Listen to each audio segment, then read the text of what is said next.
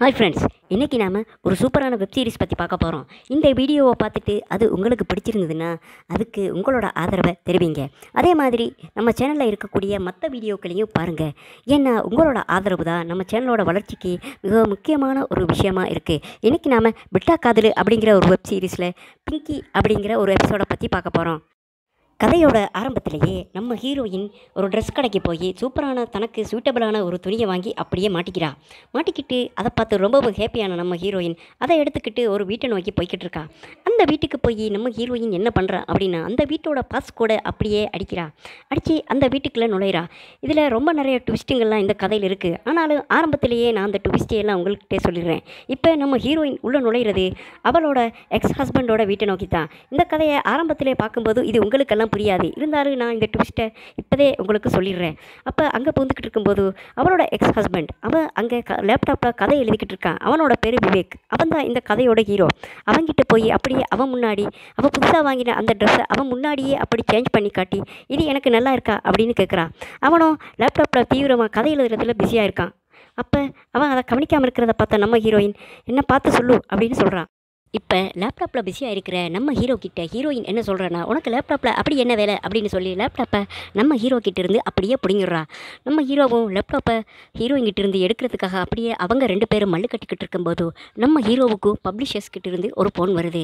அதாவது நம்ம ஹீரோவோ எழுதக்கூடிய கதைகளை எல்லாம் பப்ளிஷ் பண்ணுறதுக்கு யார்கிட்ட நம்ம ஹீரோ கொடுத்துருந்தாரோ அங்கிருந்து ஒரு ஃபோன் வருது. அவங்க ஹீரோவோட கதையை பற்றி கேட்கும்போது நம்ம ஹீரோ என்ன சொல்கிறாரு அப்படின்னா இது ரொம்ப சூப்பரான ஒரு ரொமான்ஸ் கதை. இதை நீங்களே பாருங்கள் இது உங்களுக்கு பிடிக்கலைன்னா இன்னும் ஒரு வருஷத்துக்கு நான் கதை எழுதவே மாட்டேன் அப்படின்னு அங்கே சொல்கிறான் இப்போ அவள் அங்கே பப்ளிஷர் கூட பேசிக்கிட்டு இருக்கும்போது நம்ம ஹீரோயின் இங்கே ஹீரோவோட லேப்டாப்பில் இருக்கக்கூடிய அந்த கதையை அப்படியே படிச்சுக்கிட்டு இருக்கா.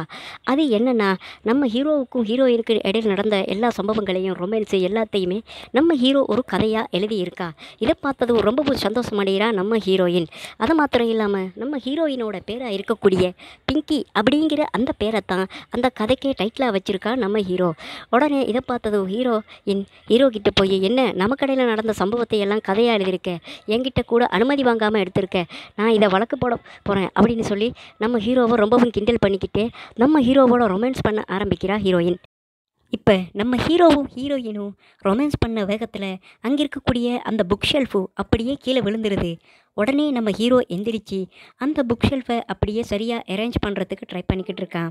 அப்புறமா நம்ம ஹீரோயின் என்ன சொல்கிறா அப்படின்னா அவங்களோட பழைய வாழ்க்கையை ஞாபகப்படுத்தி ரொம்பவும் சூப்பராக இருந்தது. நம்மளோட நினைவுகள் ரொம்பவும் சூப்பராக இருந்தது. அப்படின்னு நம்ம ஹீரோ கிட்டே சொல்லிக்கிட்டு இருக்கான். அப்படி சொல்லிக்கிட்டு இருக்கும்போது அங்கே ஒரு அலாரம் படுற சத்தம் கேட்குது உடனே நம்ம ஹீரோ என்ன சொல்கிறான்னா நீ இங்கிருந்து கிளம்ப வேண்டிய நேரம் வந்துருச்சு அப்படின்னு நம்ம ஹீரோயினை பார்த்து சொல்கிறான் இப்போ இது நமக்கு ஒரே குழப்பமாக இருக்கும். இது என்ன அப்படின்னா நம்ம ஹீரோ அவனோட பொண்டாட்டி வேலைக்கு போயிருக்கா? அந்த வேலைக்கு போன கேப்பில் நம்ம ஹீரோயின் அதாவது நம்ம ஹீரோவோட முன்னாள் பொண்டாட்டி இங்கே வந்து நம்ம ஹீரோ கூட செம்ம ஜாலியாக இருக்கா? இப்போ நம்ம ஹீரோவோட பொண்டாட்டி வர்ற நேரம் ஆயிடுச்சு. இதனால் நம்ம ஹீரோ அவளை நம்ம ஹீரோயினை அந்த இடத்த விட்டு அப்படியே வீட்டுக்கு போக சொல்கிறா ரொம்பவும் சோகமாக அந்த இடத்த விட்டு கிளம்புறா நம்ம ஹீரோயின் அப்படியே அவள் தன்னோட வீட்டை நோக்கி போய்கிட்டு இருக்கும்போது நம்ம ஹீரோயினுக்கு அவளோட அம்மா கிட்டேருந்து ஒரு ஃபோன் கால் வருது. வந்து என்னம்மா பண்ணிக்கிட்டு இருக்க? மாப்பிள்ளை என்ன பண்ணுறாருமா அப்படின்னு அவள் கேட்குறா மாப்பிள்ளையை பற்றி கேட்கணும்னா நீ எனக்கு எதுக்கு ஃபோன் பண்ணுற மாப்பிள்ளைக்கே ஃபோன் பண்ணி கேட்டுக்க. அப்படின்னு ரொம்பவும் கோபமாக பதில் சொல்கிறா நம்ம ஹீரோயின் நீங்கள் ரெண்டு பேரும் சந்தோஷமாக தானே இருக்கீங்க? அப்படின்னு நம்ம ஹீரோயினோட அம்மா ஃபோனில் கேட்குறா நம்ம ஹீரோயின் நீ எதுவும் கற்பனை பண்ணிக்காதே அப்படின்னு சொல்லி ரொம்பவும் கோபமாக சொல்லிவிட்டு அப்படியே ஃபோனை கட் பண்ணிடுறா. இப்போ நம்ம ஹீரோயின் அவளோட புருஷன் வீட்டில் அப்படியே ராத்திரி நேரத்தில் டிவி பார்த்துக்கிட்டு இருக்கா. அப்போ ஒருத்தர் அவள் வீட்டுக்குள்ளே வர்றான் அவள் யார் அப்படின்னா இவன் தான் நம்ம ஹீரோயினோட தற்போதைய புருஷன். இவனை அப்படியே நம்ம ஹீரோயினுக்கு ஃபோர்ஸ் பண்ணி அப்படியே கல்யாணம் பண்ணி வச்சுருக்காங்க. நம்ம ஹீரோயினுக்கோ இவன் மேலே விருப்பமே இல்லை. ஆனால் இவனும் நம்ம ஹீரோயினை ரொம்பவும் லவ் பண்ணுறான் இவன் ஆசை ஆசையாக நம்ம ஹீரோயினுக்கு ஒரு ட்ரெஸ்ஸை வாங்கிட்டு வந்து அப்படியே ஹீரோயினுக்கு கொடுக்குறான். நம்ம ஹீரோயினோ அவன் வந்ததை கூட கவனிக்காமல் அப்படியே சாப்பிட்டுக்கிட்டே டிவி பார்த்துக்கிட்டு இருக்கா.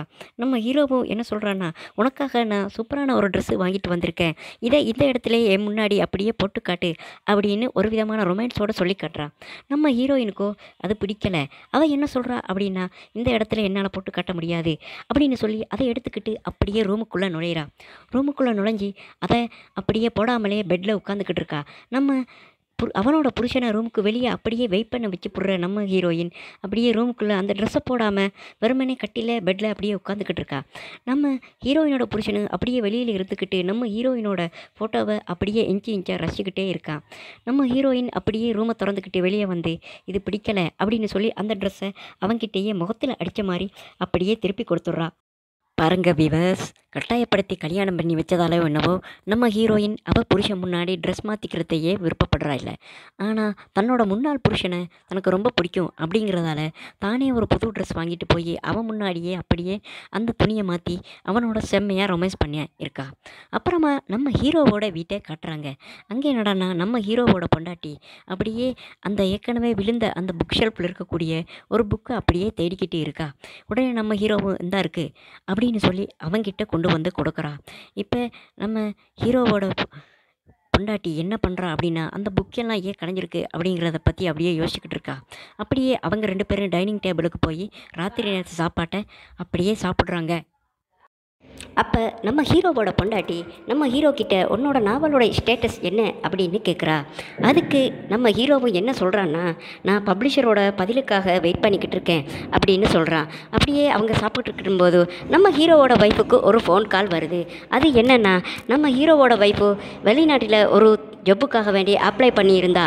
ஆனால் அந்த ஜப்பு என்ன ஆயிடுச்சு அப்படின்னா இப்ரூவ் ஆகி நம்ம ஹீரோயினை ஃபாரின் வர சொல்லி அப்படியே ஒரு ஃபோன் கால் வருது. இதை பார்த்ததும் நம்ம ஹீரோவோட வைப்பு ரொம்பவும் சந்தோஷப்படுறா. நம்ம ஹீரோவை கூட்டிக்கிட்டு அப்படியே ஃபாரினுக்கு போய் அப்படியே அந்த ஜாபை பண்ணலாம் அப்படின்னு சொல்கிறா ஆனால் நம்ம ஹீரோவுக்கு ஃபாரின் போகிறது பிடிக்கலை.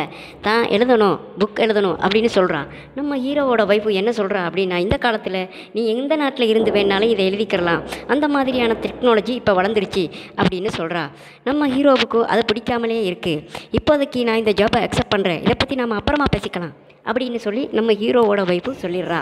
சொல்லிட்டு அப்படியே இருக்கும்போது நம்ம ஹீரோவுக்கு வர்ற மெசேஜ் என்னென்னா நம்ம ஹீரோவை எழுதின கதை பப்ளிஷரால் ரிஜெக்ட் பண்ணப்பட்டுருச்சு அப்படிங்கிற ஒரு சோகமான செய்தி. இதை கேட்டதும் நம்ம ஹீரோ ரொம்பவும் கவலைப்பட்டுக்கிட்டே இருக்கான். இதை பார்த்ததும் பெட்ரூமுக்கு வர்ற நம்ம ஹீரோவோட வைஃபு நம்ம ஹீரோவை சந்தோஷப்படுத்துறதுக்காக வேண்டி நம்ம ஹீரோ கூட அப்படியே ரொமான்ஸ் பண்ணுறான் இப்போ நம்ம ஹீரோயினோட வீட்டை காட்டுறாங்க. நம்ம ஹீரோயின் ப்ரெக்னன்சி டெஸ்ட் ரிசல்ட்ஸுக்காக வெயிட் பண்ணிக்கிட்டு இருக்கா. அப்போ டாக்டர்கிட்ட இருந்து அவக்கு வரக்கூடிய மெசேஜ் என்னென்னா உன்னோட ரிசல்ட்ஸு நெகட்டிவாக இருக்குது எனக்கு தெரியும். இது உன்னை ஃபோர்ஸ் பண்ணி தான் கல்யாணம் பண்ணி வச்சாங்க. இருந்தாலும் நீ புருஷன் கூடவே இரு. அப்போ தான் உனக்கு பாசிட்டிவான ரிசல்ட்ஸ் காட்டு அப்படின்னு டாக்டர்கிட்ட இருந்து மெசேஜ் வருது. ரொம்பவும் டென்ஷன் ஆகியிருக்கா நம்ம ஹீரோயின். உடனே அவள் என்ன பண்ணுறா அப்படின்னா நம்ம ஹீரோவுக்கு ஃபோனில் ட்ரை பண்ணுறா எத்தனையோ வாட்டி ட்ரை பண்ணாலும் நம்ம ஹீரோ ஹீரோயினோட ஃபோனை ஆன்சர் பண்ணாமலே இருக்கான். இதனால் ரொம்பவும் கோபமடைஞ்ச நம்ம ஹீரோயின் ஹீரோவோட வீட்டை நோக்கி அப்படியே கிளம்பி போகிறா அங்கே போய் ஹீரோவோட வீட்டோட பாஸ்கோடை டைப் பண்ணதுமே ஹீரோவோட வீடு திறந்துக்க மாட்டேங்கிறது. அங்கே அந்த பாஸ்கோடு மாற்றப்பட்டிருக்கு இதனால் கோபமடைகிற நம்ம ஹீரோயின் அவளோட புருஷன் வேலை பார்க்கக்கூடிய அந்த இடத்த நோக்கி கிளம்புறா. அங்கே போய் ரொம்பவும் கோபமாக இருக்கா புருஷன் வந்து என்ன நீ இந்த நேரத்தில் இந்த மாதிரி ட்ரெஸ் பண்ணிக்கிட்டு என்னோட ஆஃபீஸுக்கு வந்திருக்க? அப்படின்னு சொல்லி நம்ம ஹீரோயினோட காரில் ஏறிடுறான் ஏறி அவன் என்ன பண்ணுறான்னா நான் ஒரு இடத்த சொல்கிறேன் நீ அந்த இடத்த நோக்கி போ. அப்படின்னு காரில் நம்ம ஹீரோயினுக்கு ஒரு வழியை காட்டுறான் அது எங்கன்னா நம்ம ஹீரோவோட வீட்டை நோக்கி தான் ஹீரோயினோட புருஷன் வழி சொல்லிக்கிட்டு இருக்கான். இதை பார்த்தது நம்ம ஹீரோயினுக்கு ரொம்பவுமே பயமாகவும் அதிர்ச்சியாகவும் இருக்குது அப்படியே ஹீரோவோட வீட்டை நோக்கி கூட்டிகிட்டு போகிற அவன் அப்படியே வீட்டுக்குள்ளே போயிடுறாங்க. அங்கே நம்ம ஹீரோவும் அவனோட பொண்டாட்டியும் இருக்காங்க. உண்மையிலேயே இப்போ என்ன நடக்குது அப்படின்னா நம்ம ஹீரோ அவன் பொண்டாட்டி இவங்க ரெண்டு பேருமே போய் ஃபாரினில் செட்டில் ஆக போகிறதால அந்த வீட்டை விற்க பார்க்குறாங்க ஆனால் அந்த வீட்டை வாங்குறதுக்கு நம்ம ஹீரோயினோட புருஷன் தான் சம்மதம் சொல்லியிருக்கான். இது அப்படியே இதுக்காக பார்த்தா நம்ம ஹீரோயினோட புருஷன் அந்த இடத்த நோக்கி போகிறான் அங்கே போனது நம்ம ஹீரோயினுக்கு ரொம்பவும் ஷாக் ஆகிருக்கு நம்ம ஹீரோவுக்கும் அது ரொம்ப ஷாக் ஆகிருக்கு அவங்க அப்படியே அந்த வீட்டை வாங்குறதுக்காக அங்கே பேசிக்கிட்டு இருக்கும்போது அங்கே என்ன நடக்குது அப்படின்னா மேல் ரூமில் நம்ம ஹீரோ இருக்கான். அவனை பார்க்குறதுக்காக வேண்டி நம்ம ஹீரோயின் மேல் ரூமை நோக்கி போகிறான் அங்கே போனதும் அங்கே என்ன நடக்குது அப்படின்னா அவங்க ரெண்டு பேருமே பேசிக்கிட்டு இருக்காங்க. நம்ம ஹீரோ என்ன சொல்கிறா அப்படின்னா நான் இப்போ ஃபாரின் கிளம்ப போகிறேன் அப்படின்னு சொல்கிறான் ஆனால் நம்ம ஹீரோயினுக்கும் அது பிடிக்கல. என்ன விட்டுட்டு நீ எப்படி கிளம்ப போகிற உன் பொண்டாட்டியை கூட்டிக்கிட்டு நீ மட்டும் தரம் தனியாக ஜாலியாக போயிட போறியா? அப்படி நீ போகக்கூடாது அப்படின்னு சொல்லி நம்ம ஹீரோ கூட ரொம்பவும் கோபமாக பேசுகிறான் அப்படியே அவங்க ரூமில் பேசிக்கிட்டு இருக்கும்போது நம்ம ஹீரோயினோட புருஷன் அதே மாதிரி ஹீரோவோட பொண்டாட்டி இவங்க ரெண்டு பேருமே அவங்க பேசுகிறத கேட்டுப்புட்டு அப்படியே ரூம்குள்ளே வர்றாங்க. அப்பா நம்ம ஹீரோயின் அவங்களுக்கெல்லாம் ஷாக்கா அந்த இடத்துல என்ன சொல்கிறா அப்படின்னா நம்ம ஹீரோவை பார்த்து நான் இப்போ ப்ரெக்னெண்ட்டாக இருக்கேன் அப்படின்னு சொல்கிறா அதாவது தன்னோட முன்னாள் புருஷன் மூலியமாக நான் இப்போ ப்ரெக்னெண்ட்டாக இருக்கேன். அப்படின்னு சொல்கிறான் இதை கேட்டதுமே நம்ம ஹீரோயினோட புருஷன் அதே மாதிரி ஹீரோவோட பொண்டாட்டி இவங்க ரெண்டு பேருமே ரொம்பவும் அதிர்ச்சி அடைகிறாங்க இதோட முடியுது இந்த கதை. நம்ம அடுத்த வீடியோவில் சந்திக்கலாம். அது வரைக்கும் பாய் ஃப்ரெண்ட்ஸ் பி சேஃப்